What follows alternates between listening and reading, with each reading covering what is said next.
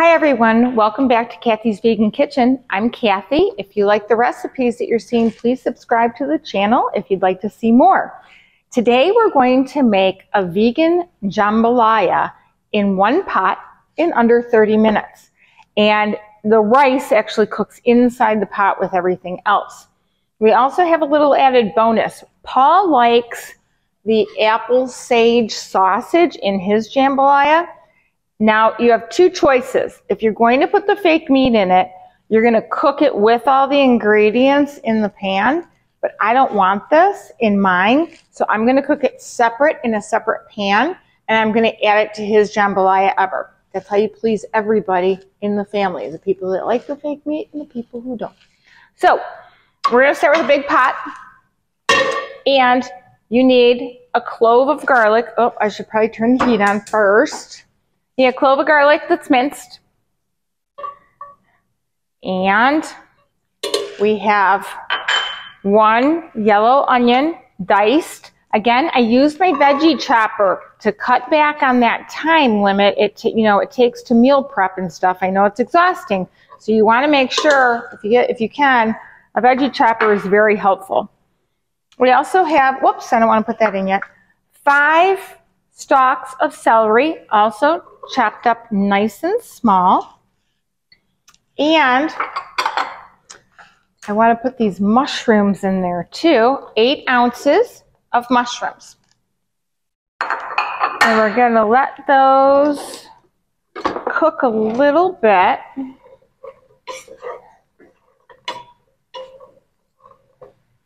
Get that heat going. There's a lot of water um, or moisture, I should say, in the celery and the onions and the mushrooms. So you shouldn't have an issue in terms of anything sticking on the bottom of your nonstick pan. If for some reason you do, you can add a little vegetable broth or water to um, help move the stuff around a little bit, but it's not a problem. Let's talk about the other ingredients as this is going forward. We have one red bell pepper. We have one jalapeno that I seeded and I took the veins out and I chopped it up again using the veggie chopper. I also have a second jalapeno that I'm going to use for garnish after. And because this is a little bit spicy, I like to put a little bit of avocado on top when I garnish it too, and some parsley, but you can do what you want. There is a way to make this less spicy, and I'll talk to you about that in a second. First, you want to make sure that you take the seeds and the veins out of the jalapeno. And you want to wear gloves when you cut it, especially if you have contact lenses, because if you don't, even if you wash your hands later in the night, you go take them out, you're going to burn your eyes. My sister's done it. and a lot of people have done it, so it's terrible. We also have a 10 ounce can of Rotel tomatoes with green chilies. For a less spicy version, you can just use plain diced tomatoes, a can, or you can use roasted ones for a more smoky option. We have one 15 ounce can of dark red kidney beans that I drained. We're going to use four cups of vegetable broth. This is two cups of short brown rice, short grain brown rice. Now, if you have long grain brown rice instead of the short grain brown rice, brown rice, you have to cook it longer. This only takes 25 minutes to cook. The long grain kind can take to 30 to 40 minutes. So if you use long grain instead, you're going to finish this and it's going to be crunchy and not cooked. So make sure that you pay attention to that note on the recipe. We also have a tablespoon of Italian seasoning, two teaspoons of Creole seasoning, and I chose um, the um, Old Bay seasoning, but you can use any Creole seasoning. And then one teaspoon of paprika. Oh, and three tablespoons of vegan Worcestershire sauce. And I like the Annie's um, brand or the Wizard brand. I buy both of them depending on what's at the store. Okay, so as you can see, our onions are starting to get translucent. So we're going to add that one red bell pepper that's chopped up. We're going to add the jalapeno that's chopped up. stir it all in there and let it cook for a second. Then I'm going to add the Worcestershire sauce, the Italian seasoning, the Creole seasoning, and the paprika. Get it all out of there. I like that paprika.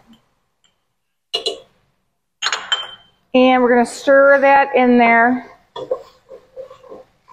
Ooh, it smells yummy. Okay, now I'm going to add that 10 ounce can of Rotel tomatoes, the 15 ounce can of the um, dark red kidney beans. If you don't like dark red ones, you can really put anything in here that you want. I mean, there's no really rules. Um, if you prefer, they have light red kidney beans, different ones than that. Okay, now, as you can see, this, oh, it smells so good. Okay, we're gonna add the two cups of the brown rice. Again, short brown rice takes less time to cook than long grain rice. So you could end up with a problem with it being done if you don't use the short grain. And if you use the long grain, that's okay, it just takes a little longer. We're going to add four cups of vegetable broth. I use the low sodium kind. I buy it at Costco in bulk. And then what we're going to do, yeah, stir that rice in there to make sure it's combined. And now we're going to wait for it to start to boil. The watched pot is finally boiling. So what you're going to do is we're going to put the top on.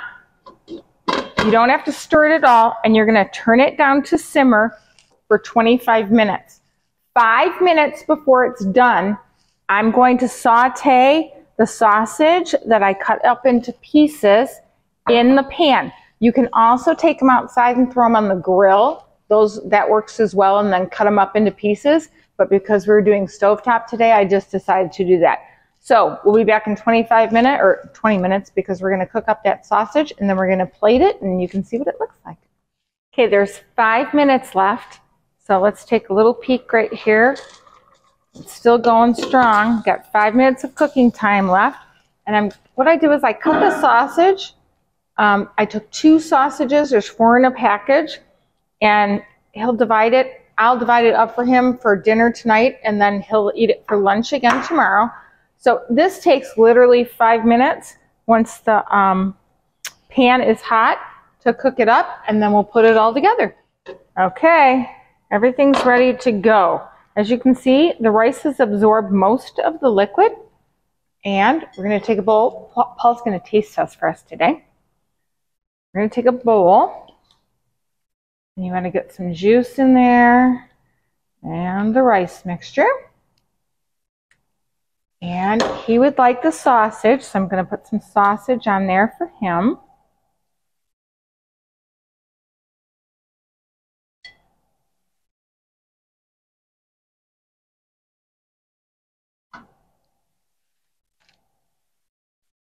Okay. And then I'm going to add some parsley on top,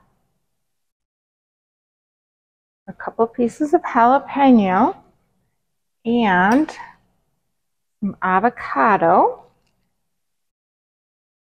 And as you can see, this makes a lot. Like you have good six to eight servings.